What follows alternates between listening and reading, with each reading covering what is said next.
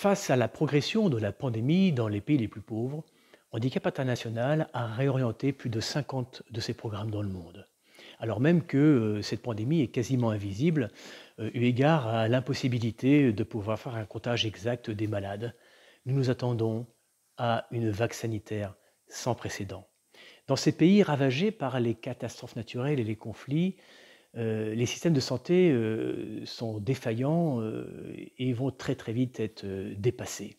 Mais encore, dans ces pays frappés par la pauvreté, c'est plus de 29 millions de personnes, soit 84% de la population des réfugiés, qui ont trouvé refuge dans des camps surpeuplés, parfois bien plus grands que des villes. Alors oui, euh, dans ce contexte, Handicap International, sans délai, euh, a su se réinventer pour adapter euh, ses programmes avec des solutions très concrètes et venir en aide à ces populations. Par exemple, les ambulances que nous utilisons pour le déminage ont été transformées pour servir de transport aux malades.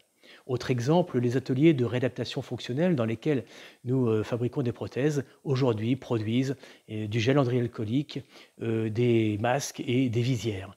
Mais encore, pour diffuser très largement la pédagogie sur les gestes barrières et les gestes sanitaires élémentaires, nous avons créé des émissions radio au Togo, où par exemple en, Inde ou au Népal, nous avons traduit toute cette communication en langage des signes pour aller jusqu'aux plus vulnérables d'entre nous. Alors oui, pour faire face à ces conditions, pour innover, pour nous réinventer, nous avons besoin de fonds, nous avons besoin de dons, nous avons besoin de vous. C'est aujourd'hui que la solidarité doit prendre de vitesse le coronavirus. La solidarité, c'est le premier geste barrière. Alors donnez sur handicapinternational.fr.